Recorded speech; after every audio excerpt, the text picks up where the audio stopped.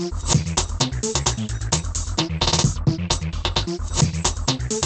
outside, we're filling it up for the first time. And basically, uh, since this is going to be tap water, it does have chlorine in it, so we need to make sure that it cycles uh, for about a month. Uh, first of all, for a couple days, so the uh, chlorine can evaporate. And then after that, we want to build up the natural bacteria. You can always get it kick started with putting a little bit of compost tea in there and letting that cycle through a couple times. And that will get the bacteria just exploding. And that's what you need to actually grow. So as you see here, uh, we've got our water and it's coming out heavily here. And then uh, since it's running to the end over here, uh, it's running a little bit slower. And the great thing about that is, is that when it is filling up, this one will drain first, and then this one will drain second uh, after the siphon works. So basically, what we're going to do is we're going to make sure that we always have plenty of water in our fish tank. All right, when you're looking at your aquaponics first fill, the first thing you need to do is you need to check all the joints to make sure that there's no leakage. Okay? If there's leakage, then you want to find out where it's leaking. So you check all the joints, make sure that it's not leaking. And if it is, you need to tidy it up a little bit.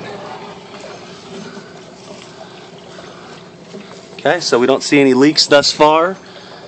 None on the uniseals, which is really good. Let's see how it goes. Hoping that it's pretty close to being able to siphon. If not, we're going to need to adjust our siphon here. So um, what we're waiting for is to see if it actually sucks it down. If it starts to almost overflow, then we need to just cut this drain pipe here and uh, we need to make sure that the slits are on the bottom so that it has the ability to suction. And there's nothing better than the sound of just the mini waterfall that we're creating. Now there we go. Actually, wow, this one here is already creating its siphon. Okay, They're, so right here, here is our first siphon right here. That is a beautiful thing. And the great thing is, is it's coming right down into the fish tank. So it's creating aeration to make sure when the fish are in there, they have plenty of oxygen so they're happy. Wow, that's awesome. So this one actually already started to cycle. So we might actually have to lower this a little bit to make sure that it drains all the way. So we'll see.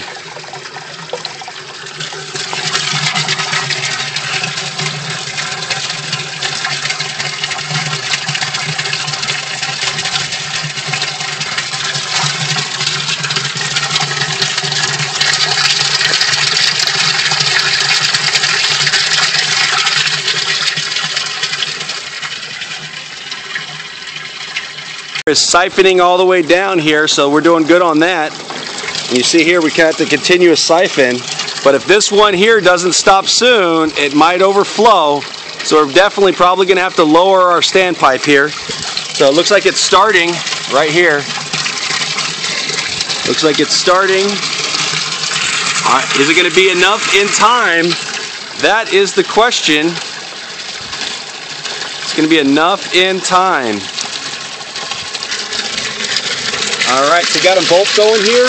Full blast. That is a beautiful, beautiful sight. Look at that. Look at all that aeration in there.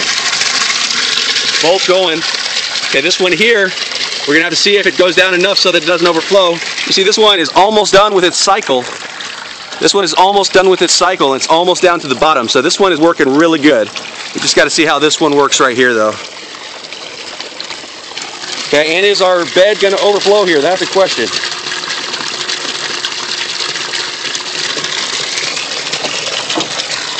Okay, so it looks like our tank's gonna overflow, so we gotta get some of that water out of there.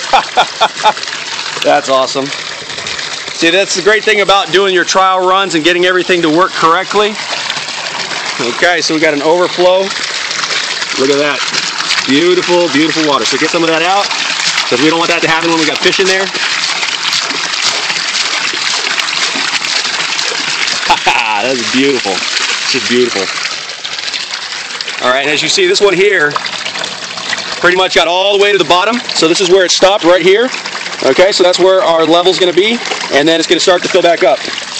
This one here is draining, and so we're going to have to get this to a happy equilibrium. We're probably going to have to trim this one down a little bit, and basically all we got to do is cycle it to make sure that it works great without overflowing like this.